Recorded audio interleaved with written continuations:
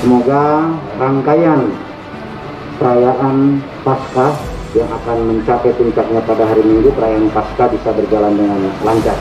Bahu membahu di sini 24 jam melakukan pengawasan, melakukan patroli, melakukan penjagaan bersama dengan unsur elemen masyarakat.